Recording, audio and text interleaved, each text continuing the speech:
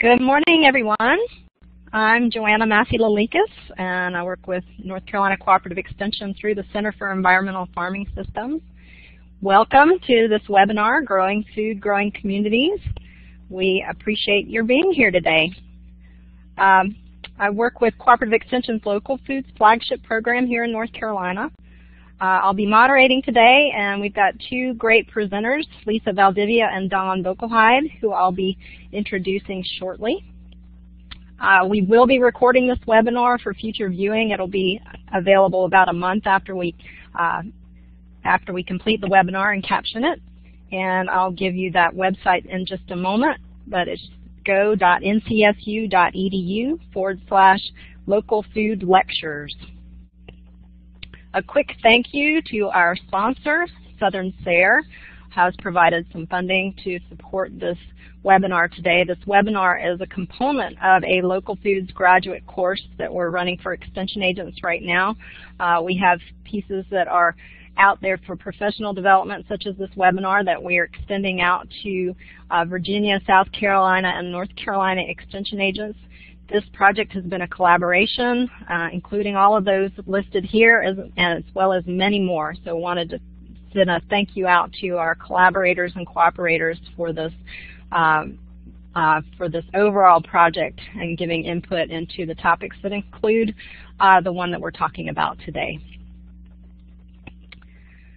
So we have two presenters today, as I mentioned. Thank you, Lisa and Don, for coming on and sharing your expertise and experience with us. Uh, for those on the, for the participants, I'll be introducing Lisa and Don. They'll present for about 30 to 40 minutes, and then we'll have time for your questions. I'll help to moderate those. Uh, so while they're speaking, if you want to type your questions in the chat box as we go, we'll get to those uh, uh at the end of the presentation. So first I'll start with Lisa. Lisa Valdivia is an Extension Associate with the North Carolina Cooperative Extension Program at NC Agricultural and Technical State University. As Project Manager for the NCA&T Community Gardens Children, Youth, and Families at Risk, or CYFAR, Sustainable Communities Project from 2010 to 2014. She worked with several gardens in both rural and urban counties in North Carolina since their beginnings. She served as the first board chair and is now the development committee is on the development committee for the North Carolina Community Garden Partners, who you'll hear about later in this presentation. It's a nonprofit membership organization that's working to grow gardens, food, and community across the state. Don Boekelheide. Organic gardeners might recognize Don as the longtime national test gardener for Organic Gardening Magazine. He's also an active member of the American Community Gardening Association and a lead trainer for their growing community workshops, and is a board member of the North Carolina Community Garden Partners. Uh, a lifelong journalist, he writes a weekly column for the Charlotte Observer, mostly about food gardening, and his latest organic gardening, now Organic Life, article was on hot weather greens in the June-July 2014 issue. Uh, as a former Peace Corps agriculture volunteer in Togo, Tom, Don holds an MS in agriculture from Cal Poly.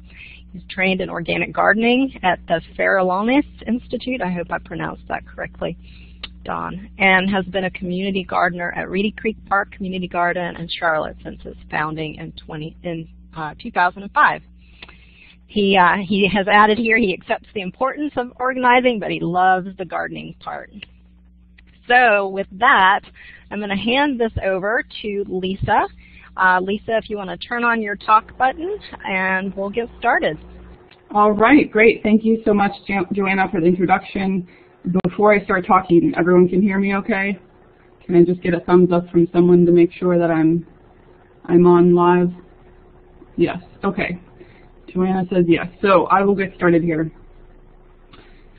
All right, so because of the nature of my work as a project coordinator and an extension associate working at the state level, I've spent a lot of time over the past few years looking from the outside in at community gardens, trying to understand their various nuances.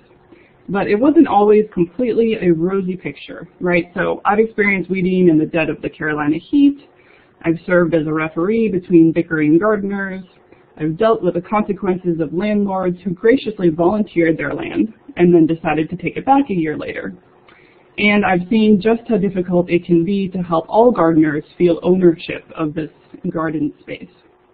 So, but, you know, I'll have to say, despite these many challenges, I still think that community gardens are pretty darn amazing.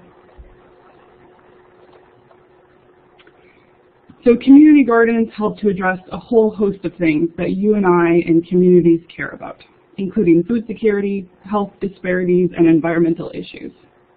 And in the process of building these gardens, people make connections and partnerships in the community that otherwise might have never even happened. People begin to realize the wealth of resources that they have right within their own communities.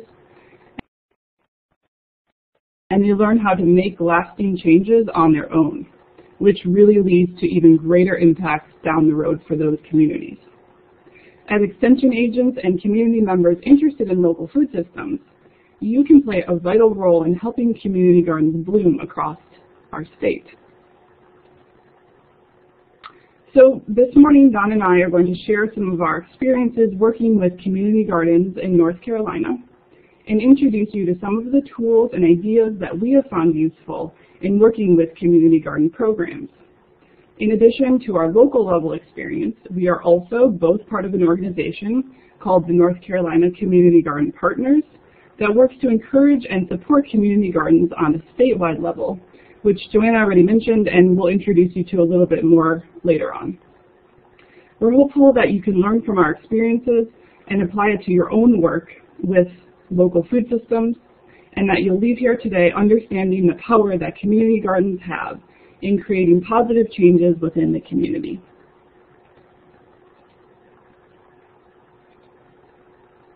So to keep us on a positive note, given that I'm sure many of us know of or can imagine plenty of challenges associated with starting and sustaining community gardens, I'd like to request that starting now and throughout this whole webinar, as things come to your mind, you type into the chat box the positive things that community gardens can do for our communities.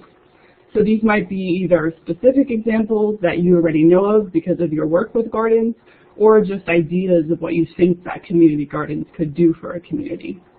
And maybe at the end of this webinar, we can compile, compile them and send them out to you um, for you to read later as a reminder of why we do this important work.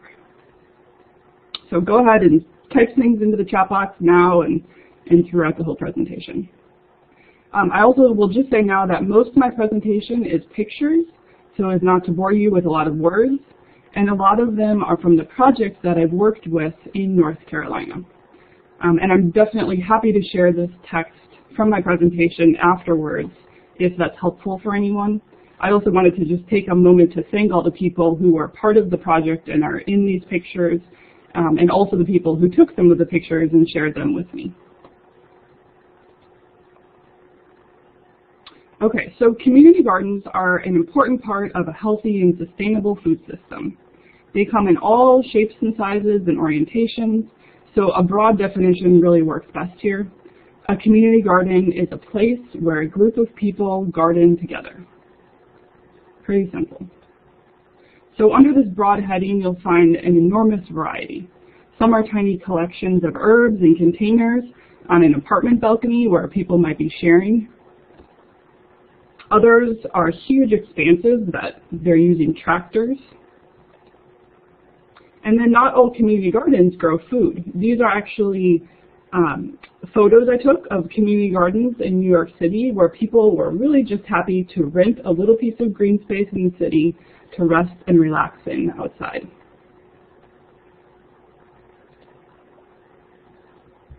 So since this is a food system class, though, we're going to focus on community gardens that grow food. And that said, don't forget the flowers. The pollinators need to eat too. But um, just looking at food gardens, there is a fundamental division between gardens that provide space for individuals or families to grow a garden of their own, which we call a plot garden, and gardens that manage their entire space collectively as a single group, or a communal garden. So food produced in plot gardens is most commonly used for, for personal use, and each gardener or family can choose what they want to grow in their own plot. And then a communal garden Um, you know, the harvest may be split among the gardeners. It may be based on shares or hours worked. Or more often, it may be donated to organizations that distribute food to those in need. And these types of gardens are, are really seeming to grow in popularity in North Carolina at least, especially among the faith groups and food pantries, where people are donating the food to the, to the pantries. So either of these two general models can be modified to focus on a particular need or purpose. So for example, horticulture therapy gardens may provide accessible small plots where individuals with physical challenges can enjoy gardening.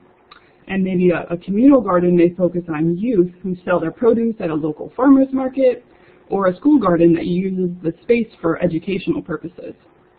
Or both models may actually be combined in one garden where you have plots in the garden and you also have a communal garden space. The point is that community garden variety is really endless. So before, you know, before even determining though what or how a community garden is physically structured, uh, extension and other supporters often need to help gardeners and garden organizers really hone in on the garden's goals develop a mission statement and talk about the values of the group so that everyone is on the same page, right? It's a good idea to make a plan before, it's a good idea to make a plan for the garden before you even break ground. And there are many existing documents that I'll point to you later on that are going to help you, um, you know, think about some of the important questions to ask when you're trying to organize, or in some cases, reorganize a garden. So as extension agents, you can provide an invaluable service by translating tools like logic models that you are likely familiar with using to terms and applications that community gardeners can understand and use to improve their overall effectiveness and sustainability as a group. Right, so when people come to you asking for advice and starting a new community garden, you can help them determine what their goals will be, what success is going to look like for their group, and what the project will be and what it won't be. Because it can't really be everything, even though some people want it to be that. Um, at least it can't be that at the beginning. Which also reminds me to tell you one of the key points of community gardens is to start small, be successful, and then build from there. So, so back to kind of making a plan. Um, for example, if the group identifies that one of their main goals is to sell produce from the garden, you know that you'll need to help them think about creating a business plan for that and developing skills in financial management and marketing. And this garden or market garden is going to be very, very different from a garden plan where people would just want to grow food for donation or for, um, you know, to give to a food pantry. And so since community gardens can be so many different things, helping people stay focused on something that is manageable can really be a challenge. It is, is really true that community gardens can accomplish a lot of different things. And an obvious one for local food systems is making fresh food available, often where it is needed most. But food is not the only harvest from a community garden. Community gardens also cultivate a deeper sense of community. And most of the time, this community organizing element gets people talking about bringing people together and strengthening neighborhoods, singing kumbaya, and all of that makes sense, right? Um, but I'd say that, you know, anybody who starts or works closely with community gardens really becomes a community organizer by default. So like it or not, you can add this title to the long list of things that you already do as an agent. And maybe this is because, you know, in part because community gardens, even tiny ones, can create a unique kind of space for people to gather.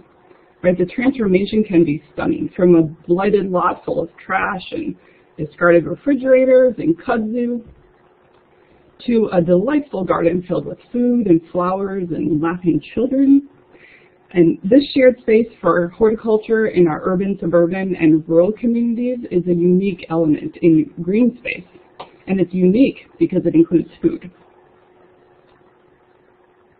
So for extension agents, and others working with local foods, this helps make community gardens like a new version of the village green, an ideal places, an ideal place, you know, to help people connect with local foods and food security in a hands-on setting. Being part of a community garden engages people directly in the food system as growers, and therefore they know more and they care more about the food system as a whole. Okay, so instead of talking in kind of abstract terms, let me share some concrete achievements and examples from the community garden project that I worked on from um, that 2009 to 2014. All right, so we helped communities develop community gardens in three different counties in North Carolina. Our plan was to give families access to better food. And two communities decided to make gardens that rented out plots. And then one community was a church, and they decided they would make a communal garden. The community garden that we helped start in Scotland County spurred a lot of school gardens within the same area.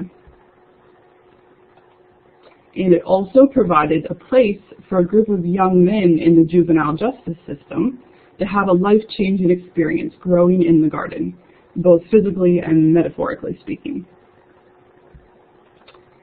And education was absolutely essential in the garden. Opportunities were provided both in the classroom and in the garden, and I would encourage anyone working with community gardens to, to do the same thing.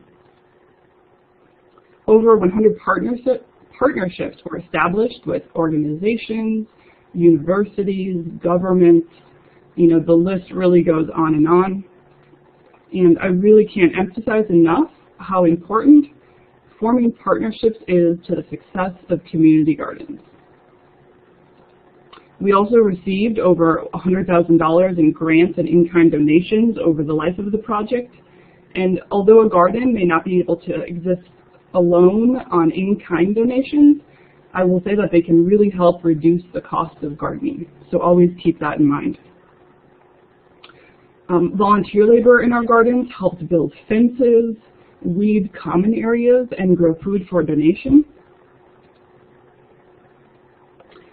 And then, so these are some of the results that we saw based on surveys and interviews we did with the garden participants. So gardens increased access to healthy, affordable food for people. They increased fruit and vegetable consumption among the gardeners. The gardeners were encouraged to try new foods, and they did so. Families saved money because they were growing their own food and preserving the food to have it when it was out of season, so they didn't have to buy it in the store. And community members met each other and new relationships were formed. There was also an increased sense of community and camaraderie, and almost every person said that as a result of the garden, they felt more involved in their community. So this project also helped us to accomplish one of the action items in the Center for Environmental Farming Systems Farm to Fork initiative, which aimed to create a sustainable local food economy across North Carolina. And that action item was to cultivate community gardens statewide. And we did this by helping to create a statewide network for community gardens, the North Carolina Community Garden Partners. So working with this project, I was in a position equivalent to you in many ways. I wasn't a member of the garden, and I didn't do much digging in the dirt, and that, that wasn't my job, even if I secretly wanted it to be.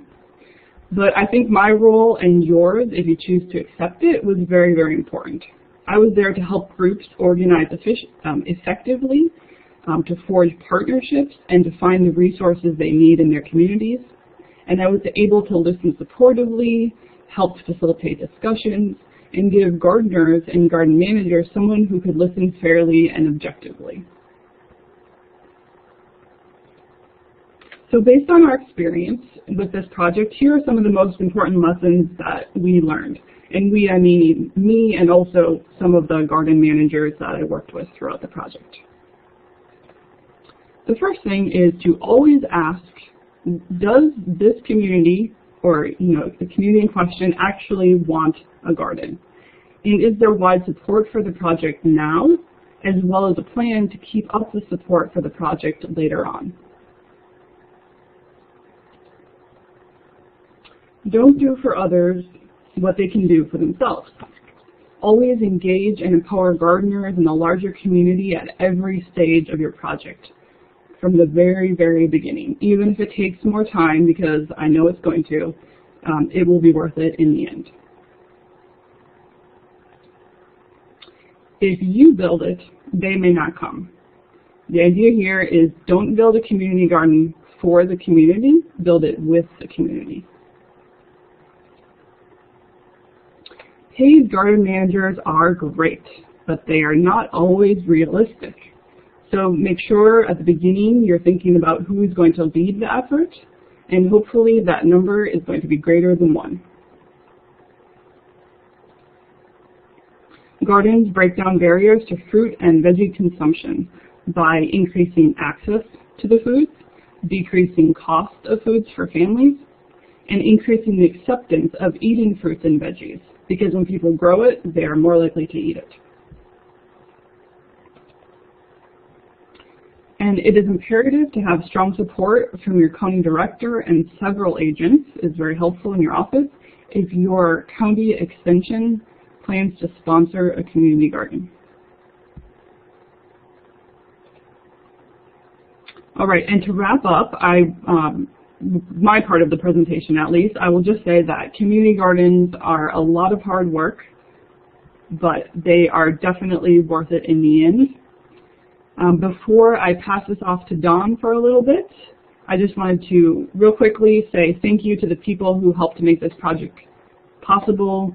Um, specialists at A&T State University, Keith Baldwin and Michelle Eley, and then the people in the communities that we worked with, Sharon English, um, Melissa Tomas and Sarah Brown in Scotland County, Michelle Wallace in Santos Flores in Durham County, James Peel in Bertie County, and of course all of these great community gardeners who helped make these, these gardens a great success. So I think I do see that there are questions coming in. I think I'm going to pass it off to Don though right now, and we will have some time for questions at the very end. All right, thanks Lisa? everyone. I just see there's just there were two Yeah. questions there from one person. If you want to go ahead and answer that, I think we're good on time. So the Oh, okay. question is, are there exceptions to who builds when your target community is older and has mobility issues? And a follow-up question, the builders may be different community members from the target gardeners, right? There are exceptions to who builds when your target community is older and has mobility issues. Um, well, I mean, I would I would definitely say that's a that's a type of situation where you're going to want to involve volunteers, right? So you might partner up with a youth group, or um, you know, we did some work with Home Depot in our community, who actually you know gave us money for the garden materials, but then al- also sent out a huge workforce, people of all ages from the company that helped to physically build the garden. Um, so obviously in, in that case, there's going to be some things that um, the, the, the actual gardeners won't be able to do themselves, but I would say that's a great opportunity to involve other partners in your community and get you know more than just the gardeners involved in the creation. So that's the, that's the whole community part of it. Um, and you say the builders may be different community members from the target gardeners, right? Yes, I would I would agree that that can definitely be the case in gardens. Great, thanks Lisa. We'll hold the other questions until the end. And Don, if you want to hit your talk button, and Lisa, if you'll turn yours off, uh, we'll carry on. Thanks so much, Lisa. Thank you, Lisa. That was a, that was a terrific presentation.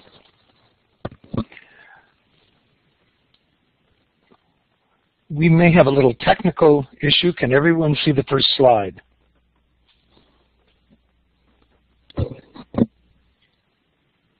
Great. Don, I just forwarded it, so we'll need to. You'll need to let me know when to move it forward. okay, I'll try to do that. Um, and those are wonderful questions. Um, so yes, that is Djenné. Um, when I worked with the Peace Corps, I visited Djenné, which is in Mali. It's a magical place on the banks of the Bani River, which is in the midst of the dusty, arid Sahel. and it's best known for that grand mosque that you see in front of you with the fanciful minarets. Always make me think of Gaudi's Cathedral in Barcelona. And these gigantic earrings of beaten gold that women wear in the marketplace. But being an Aggie type, there was something else that was beautiful that caught my eye. Around the edges of the town, outside the city walls, people were growing vegetable gardens. This is true throughout West Africa. And one stood out from the rest. He had really tall okra and very healthy stands of millet and black-eyed peas and somehow or other carrots out there in the desert. And what made the difference? Show that slide.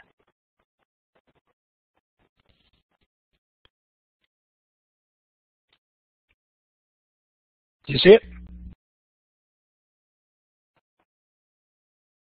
It was a bicycle pump, not like the type that you um, pump up the tire with, but a way that a farmer had rigged up his bike so it could power a simple water pump. And gas was really expensive and the supply was unreliable, so this gardener had improvised using what Peace Corps volunteers like to call appropriate technology. That uses simplicity and creativity and ingenuity to make the world a better place and a less hungry place. You know, next slide. Appropriate, community gardens are another example of appropriate technology. They're simple, but they're able to make a positive impact on complex local food systems like you've been learning about. With a little ingenuity and vision and a lot of hard work, community gardeners can increase the availability of fresh, high-quality vegetables, just like one of you was saying in the chat box, right where they're needed the most. Next slide. To be most effective, though, appropriate technologies need a modest but consistent level of support, and that's where you guys come in. Because as extension agents, you can make a major contribution to sustaining healthy community gardens and increasing food gardening opportunities for North Carolinians. And I've seen extensions contributions in my own community garden. And I'm really excited to have this chance today to share a few practical ideas for working effectively with community gardens, uh, building on what Lisa's shared already. Next slide. Um, I'm Don Boekelheide, and I'm speaking to you as a community gardener, and exactly the kind of person who you might be working with someday. Slide. My home community garden at Reedy Creek Park near UNC Charlotte turned 10 years old this year. We started small, but today we've got 76 plots, most of them 20 by 20, on an acre of land. And when I started organizing the garden back in 2004, I had no idea I'd still be gardening there a decade later with some people that have become very good friends. Slide. Like all community gardeners, I wear other hats. That's my front yard. Um, I write for the Charlotte Observer and Organic Gardening's website. It's no longer a magazine. My wife and I live near the university where she's on the faculty. We have a couple of kids in college, a couple of mischievous dogs, a mortgage, a yard to maintain, and Nan complains I'm always sneaking off to the community garden, which is about a mile away, to work over there. Next slide.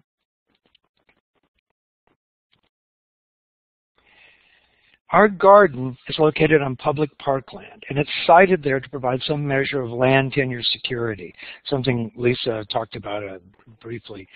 In Mecklenburg County, it's interesting, cooperative extensions treated as a division of the Park and Recreation Department. So extension personnel have acted as our unofficial landlords and advisors since our garden got started. And we've worked with a series of extension directors and agents, and we've benefited greatly from the resources and ideas that they've shared. Slide. So since you guys in Extension have been really good to me in my garden, I've decided to present you with something in return, a wish list. But don't worry, I'm not going to ask you for stuff. I mean, that never happens with extension agents, right? People don't like want stuff from you. Instead, what I'm going to do is share a different kind of wish list. A couple of things that I wish I'd have known or thought of before I started working with community gardens. And you may hear some of the same ideas that Lisa has because they are really important. Slide.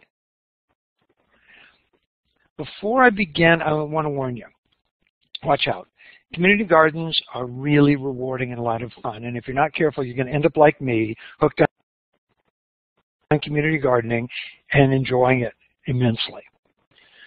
So the first thing I wish I would have thought of or realized is that green that community gardens are part of a community's green infrastructure. And somebody mentioned this in the chat box too. They go along with open space and greenways and parks and public landscaping and all the similar elements that you find in urban design. But they occupy a unique and vital niche as an environmental asset because they include food production as an important goal. Slide. Some people call community gardens the new village green, a place where people meet informally and make friends and celebrate together. At Reedy Creek Park, for example, an informal Sunday brunch is now a ritual. People of all ages and shapes and colors and sizes gather to laugh and eat potluck muffins and solve the world's problems. And I wish I under, had understood the importance of things other than food growing for healthy gardens. They are really, really important. Uh, in fact, at UNC Charlotte's garden, the social element may be the most important thing that's going on. They put up some hammocks there and they're never empty. I go over to like check the water and stuff like that. There are always students there. And no doubt they're more popular than like the fresh spinach and turnips that we're growing, but not by much. Both are important. There's an academic superstar who helped launch the garden who had never seen a turnip. This is true. And now he loves them. The kind he likes are the hakureis. You know those, the little tiny sweet Japanese gourmet type? Community gardens, it turns out, are very, very popular as gathering places. There's some research out of Sacramento, California that found that a community garden was actually more popular there as a community gathering place and visual asset than a conventional keep off the grass kind of landscaped park right next door. Slide.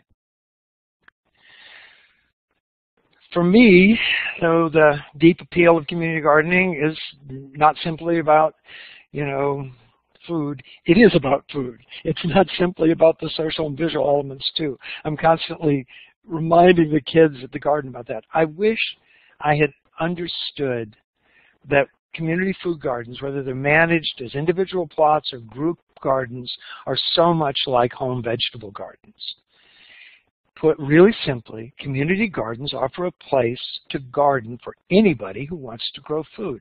And this may help clarify, it has in our county, one key educational role that uh, agents and master gardeners can play, because there's really no difference between explaining the best ways to grow tomatoes to a home gardener or to a community gardener.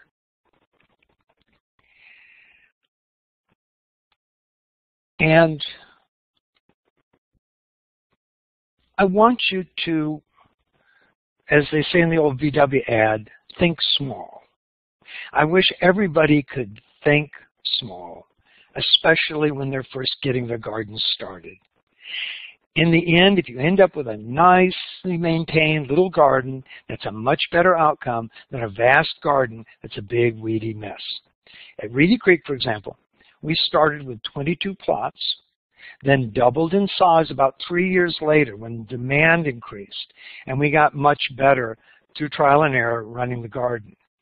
Then we expanded again to our present size after another three years. And I'm sure that if we had tried to start at full size in the beginning, we might have gotten great headlines in press, but we easily could have failed. Slide.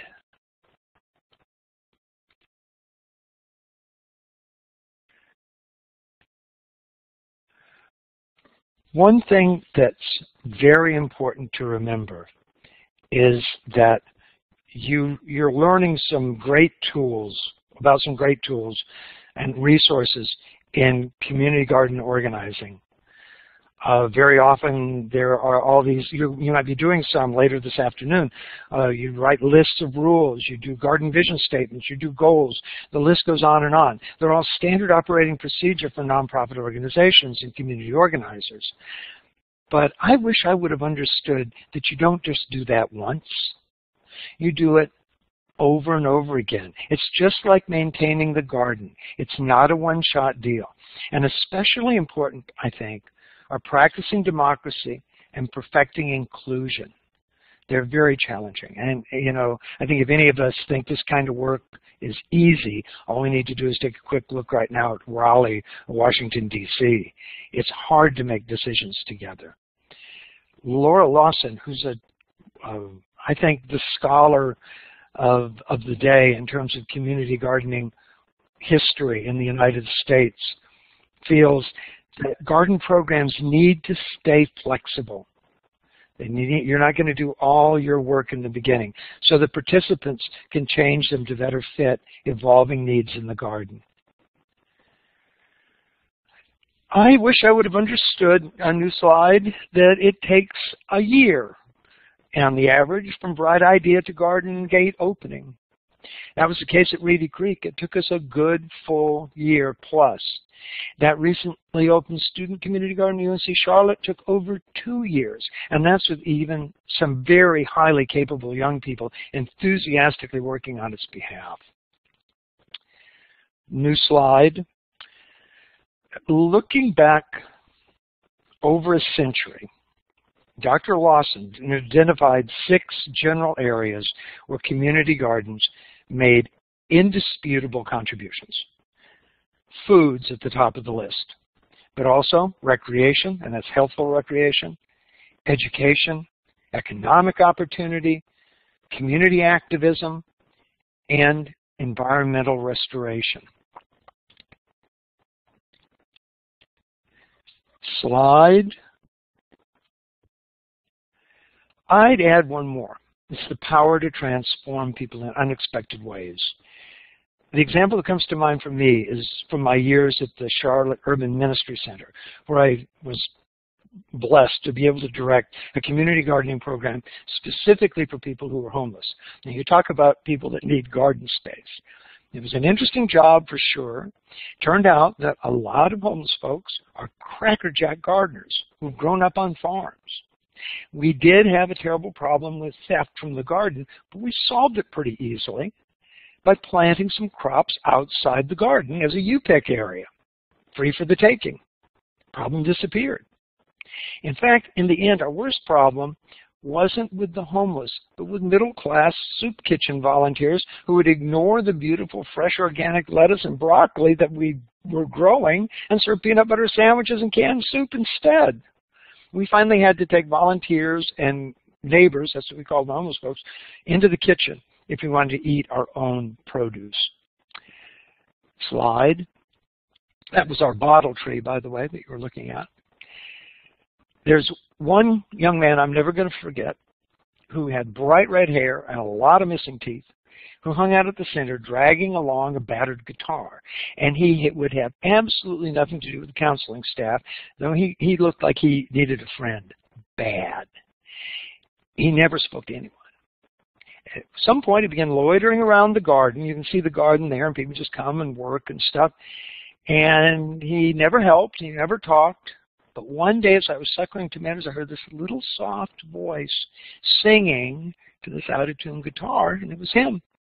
After a few days, he did begin talking this long, disjointed story about his family and a girlfriend, but he still wouldn't talk to people. He told everything to the tomatoes. And eventually we got him to go inside and get help. But when that garden and those therapeutic tomatoes reached out to this hurting soul and counselors couldn't, that made a big impact on me. Community gardens are capable of deep transformation. Slide. That said, back to uh, Dr. Lawson, for all their value, she cautions against proposing community gardens as a panacea for all of society's ills. I wish I'd realized that because I was really enthusiastic. Yeah, I'm an enthusiastic kind of guy. Unrealistic, unrealistic expectations, though, she points out, mean policymakers may ignore the valuable contributions that gardens actually make. Um, she puts it this way, new slide, a community garden can't simply single-handedly stop drug sales or the lack of public services to maintain lots in poor, fragile neighborhoods. They do a lot, but we have to be really clear about what we want the garden to do and what they're really capable of doing. Slide. Lisa talked about this, and I think it jumps out at, you know, as I look at so many training materials. A key role that you as an organizer can play is translator. And, and, I don't mean like speaking Spanish or Mandarin or Hmong. That's really helpful too. But it's to bridge that gap between gardeners and community organizers and funding and support organizations. All three are different. All three have different agendas. Extension often has a different agenda. And if funding agency or organizers start talking about the logic model or collective impact or food value chain or ABCD, you name it, gardeners may have no earthly idea what any of these mean. In fact, I know this because I just asked my fellow gardeners at Reedy Creek, many of whom have advanced degrees, if they knew any of these things. No, what they wanted to talk about was, you guessed it, when to harvest sugar snap peas as the heat goes up, what to do about nutsedge, how to stop Joe in plot six from spraying Roundup on their corn. So you can be translators, slide, and you can also make sure that people who are, you know, who are going to be in the garden are part, a meaningful part of things. If other people come in to build stuff, and of course, gardens don't have to have boxes. That's popular right now, but it's not necessary. The plants don't care, as all we horticulturists know. But in a meaningful way, people who are going to have a garden need to be part of that garden as much as possible. Um, one thing you may work with are, slide, garden superheroes. Uh, they're also called super volunteers. They're the kind of person who does everything and basically runs a garden. And in some cases, maybe many cases, the garden just wouldn't exist without them. So I'm always respectful. But I'm also always looking for ways for others to step in to some of those roles. You're actually doing that super volunteer a favor. And you're also going to be increasing the organizational capacity of the garden to survive without the resident superhero. I wish I'd thought about that. Slide. Um, looking at the history of community gardening, it's clear that rationales and champions and funders and political support and headlines and hype all come and go and they change from decade to decade. But gardens ought to remain more than they do. Community gardens in the States, unfortunately, haven't become, there's a slide in there, community gardens ought to be permanent they haven't been protected the way they are in Europe. But they keep popping up. They're like dandelions. One day, let's hope that they get the respect and protection they deserve as valuable permanent parts of landscapes. Slide. But the most important thing for you guys, I think, to work with as agents are the gardeners. They never go away. And so always put them first. It's the gardeners, not the organizers, not the funders, not the media, not the big institutions who matter worse. That toothless teen who could only talk to the tomatoes, a college kid with astronomical SATs who'd never seen a turnip, the astoundingly diverse crowd that gathers around the picnic table at Reedy Creek and shares laughter and wisdom and fresh veggies. Slide. So what gardeners want is a place at the shared table that we're all calling the local food system. It's an empowered place where they can participate directly, if only in a small way, in growing their own nutritious food. Slide. So I'm going to close quickly with a challenge. It's this. You're all doing great work in Extension. I really want to thank you for it. And I realize that local food systems are much, much larger than just community gardens and community gardeners. Dr. Sullivan showed that to you. The food systems become global, for better or worse, and it's enormously complex. But knowing that, I challenge you to never forget the gardeners and to join us in NCCGP as we work to establish community gardens across North Carolina so that every single person in our state who wants to grow some food can do it. So thanks very much. I'm going to return the mic to Lisa so she can tell us, tell you more about NCCGP. And I hope you'll join us. Thanks, Don. All right. Lisa?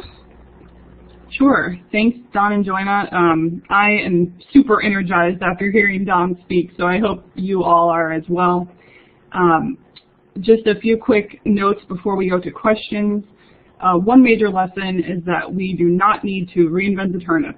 There are a wealth of excellent resources out there for you already um, as an extension professional and also for the gardeners and the organizers that you work with.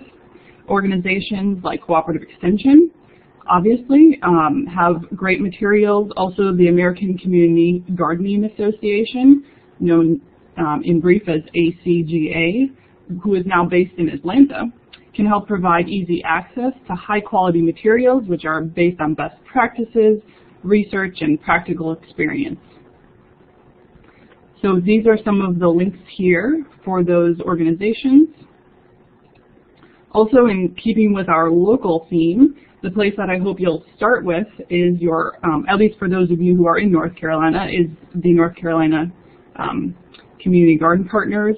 We hope you'll become a dues paid member of it. You'll be a growing and um, part of a growing and effective network of people working in community gardens across the state. We have a lot of support from Extension. In fact, I'd say the this organization grew out of Extension, and we have several agents and other folks who are um, working with Cooperative Extension in North Carolina that are a part of this group and support us. Uh, we have an annual day-long gathering held in different parts of the state. We try to move it around, and this is a unique opportunity to make friends and share ideas with other community gardeners. This is the web page here, so you're welcome to visit and learn more about the organization. Oh, and one thing I just wanted to mention too, um, we are gathering kind of a, a, list or a map of community gardens across the state, and that helps not only us connect with the community gardens, but it helps other gardeners find community gardens in their local areas. So take a look at that. This is one thing I wanted to point out in terms of resources. Um, there's, there's a lot on the extension website, which I gave you on the previous slide. This is the resource list with the North Carolina Community Garden Partners. And if you are just trying to figure out how to start a garden with some people in your community, um, they've you know come to you and, and, are interested in doing this and want your help, um, there's a, a, place where you can go there to some guides that show you kind of the basic steps in starting a garden. There's some from North Carolina, there's some from other states that are really great resources, so I encourage you to check those out. And then I'll just say, um, Joanne already mentioned that um, NCCGP is a membership organization. It's also now a nonprofit organization. One of the things that we've done this last year with the group is to organize these GROW workshops. And these were targeted at limited resource and minority community garden leaders across North Carolina. Um, last year, these workshops reached 122 people from 28 different counties representing 48 community gardens. We had really uh, great feedback from these workshops. People were very excited about them, and they had a, a, wonderful opportunity to network with others and learn from people in their communities, which I'll say is, I think, one of the most important things. People, um, you know, really like to be able to talk with others about the challenges that they're facing in their community gardens and share how they were able to solve those challenges. And so the garden tours that we did as part of these workshops um, helped people to connect each other. We also provided some mini grants um, to the people who attended the workshops so that they could implement the techniques that they learned during the workshops back at home in their community gardens. So that is uh, a little bit about NCCGP. I think that is the end of our slides. I don't know, Don, if you had anything to add um, or Joanna, if you wanted to go on to questions at this point. I think questions are a great idea. The, the wonderful observations coming up in the chat box. Sounds great in Gaston County. The network? Yeah, so I'm hoping to see some more ideas come into the chat box. Um, I have a couple of questions from earlier on. One, Lisa, that came at the end of uh, your session. Uh, did the idea for the gardens come from dedicated community members or from the Extension Office? Right, great. I, and I saw Emily wrote that. Um, great, great question. And we actually, I, I, had wanted to go more into this in the presentation, but with limited time, um, we didn't discuss that. But so there's kind of two different models that we generally think of, right, when starting the community garden. It can really start from the bottom up and kind of a grassroots effort where you have local community people with this idea to create a garden, and then they go out searching for who's going to help them accomplish that. And then you might have a, a, a, different type of model, which we would call more top-down, where you have a, an organization more at a state or a national level even that is um, promoting something and kind of trying to get people to grab onto the idea. Um, and both work very, very differently and definitely have their, their pluses and minuses. The project I worked with came uh, from a, a USDA grant, right? So Extension at the state level applied for it. Um, and when we were awarded the grant, um, you know, we had already connected with county offices and agents who were interested in the idea of community gardens. So to answer your question directly, it did come from the extension office. I will say, um, you know, we we we could have definitely done better. And when I look back at some of the um, how we started the gardens in terms of involving the community, but one example I'll say was a, a good one is one of our communities did a lot of work before even breaking ground in the garden to go out and survey the community around where the garden was going to be and ask them if this was going to be useful for them, if they wanted a garden, if they would garden there, how much they would pay, etc., etc. And start building up um, support for the garden. And they also did a great job of, you know, again, involving people from the very beginning with actually helping to, to build the physical garden. Um, and some of those people stayed with the garden to this day. So there's there's a lot more to talk about with that, but I know we have a lot of other questions. So I would add one thing, and that is to really listen. Um, top-down can work. Sometimes you have to step in when, let's say, people who they're just learning how to do democratic process with one another.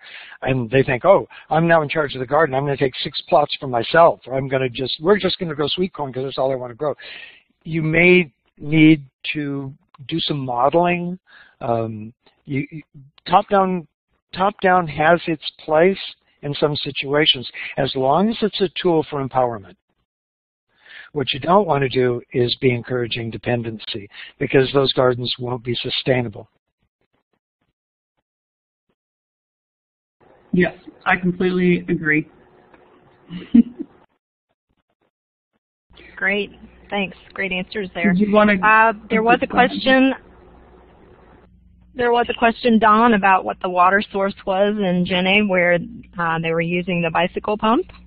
It was water from the river, but it was flowing underneath the surface of what looked like a dry riverbed for much of the year. So they were shallow tube wells. Great, thanks. There's, and I think about there two was, or three months of the year, um, just trivia, two or three months of the year, the water actually flows enough that you can take boats back and forth between Djenné and the next town up the river, which is also very picturesque, called Mopti. Great, that sounds like an amazing opportunity to see all of that, Don. It's, so there was a question, Don. I, I'm sorry. No, no, there ahead. was a question, Don, about what were the kind, what was the kind of wood for the timbers, and I saw you responded to it in the chat box, um, and that was regarding the garden that had the large brick building in the background. Um, Don, do you want to you want to yes. share what you wrote in the chat box? I believe that it, that was talking about the UNC Charlotte Garden. That would be the one with the big brick building, because Yeah. we don't have it's interesting. At Reedy Creek, which is a large plot type garden, the original extension agent we worked with, Jim Monroe, banned all kinds of boxes. He was thinking like a farmer. Farmers don't put down boxes. They get in your way. Um, they're more of a horticultural thing. I, I want to call them planters rather than raised beds. The idea of a raised bed is you're raising it above the level of the surrounding soil. That's a great idea here for encouraging drainage. But a boxed planter of some kind, he banned them. As soon as he left, though, people started making them. People love to make stuff. Over at UNC Charlotte, somebody got a big grant to spend a lot of money and make boxes. Making something is very satisfying, and that's part of the appeal of community gardening. The build-out day is a big deal, and everybody shows up. But that's not what interests me. What interests me is a year or two later. Is that garden still there? And is it strong? Right. And is it building? Is it building food security? Is it building the ability of people to take some uh, ownership over their own communities, make decisions for themselves? Great point, Don. Thank you. Uh, and we have the comment and question from David Fogarty in Gaston County. We have five new independent community gardens in Gaston County. At Cooperative Extension, we are organizing a county community garden network to support these efforts. Are you familiar with such network efforts in your communities on what roles uh, do they most and what roles do they most effectively play, and how could our county network best collaborate with North Carolina community garden partners?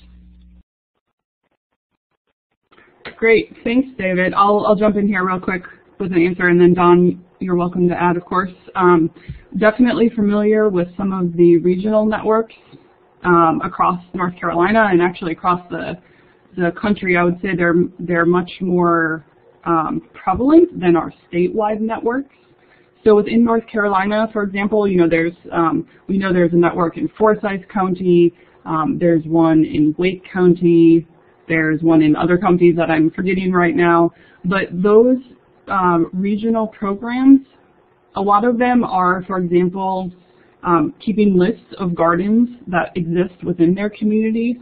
Um, that way, when people contact the Extension office, they might be looking for a place to garden, and the Extension office can tell, you know, can give them the names of some gardens that might have open spaces, for example. I know some programs, uh, some Extension offices that are offering educational opportunities for gardens, which is a huge thing. They do classes that are specifically um, geared towards community gardens. Some of them are doing mentoring programs where they're training people from the community to help um, mentor at a specific community garden, right? So they teach those mentors um, you know, horticulture. They teach them about these organizing principles that we've talked about today. And then those mentors are assigned to individual gardens and are able to help them uh, work through some of the, the processes they need to be successful. So I, I think those are just in general some of the things I know that regional or local level networks are doing. Um, one of the ways that, um, just on a very basic level, that you can see where some of those networks in North Carolina are. If you go on that map I had showed earlier, not only are there uh, points for individual gardens, but there's also points to connect with organizations. And those are in the, the purple carrots on, on the map. Um, and David, I'd actually be interested in talking with you maybe a little bit after because I know we're running short on time about how you can best network with um, NCCGP. But we are we're definitely interested in that and we know there's a lot of uh, important work that is already being done at a local and regional level, and so we want to we want to build on that and help those networks grow and help other networks in communities that don't have them grow as well. Great, thank you, Lisa, and uh, great response. I appreciate that. I think we answered Julie Flowers' question about community garden networks best connecting. Uh, there's some conversation here about uh, gardeners with limited mobility and the need for accessible beds, and Don responded that uh, accessible beds are a great idea and not to be in every garden. So uh, I wanted to ask the group, we've got folks from Virginia and South Carolina with us, do you all have uh, a statewide network of community gardens in, in your state. Uh, it'd be great to know that, and if so, if you have a website you can share, that'd be great in the chat box.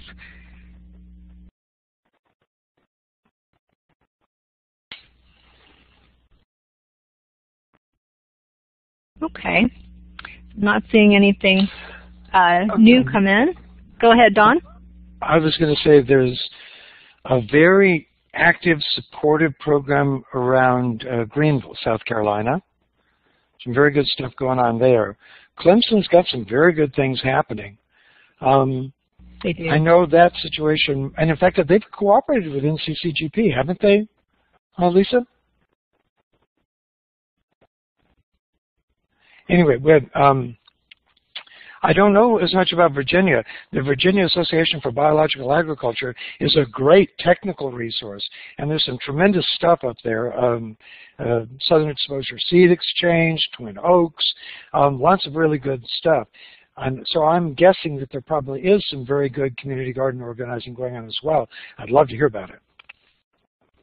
Yes, I know the work is going on and um, was just curious about the networking and you all are doing amazing things in both Virginia and South Carolina. We're so glad to have you here on the webinar and we'll look forward to opportunities that we can hear from you all in the future. And we're out of time at this point. We're a minute over. I apologize for that. But thank you all for coming and joining us. Don and Lisa, you leave me very inspired and uh, more knowledgeable about the work that you all have done and community gardens generally. So thank you so much for being here with us today.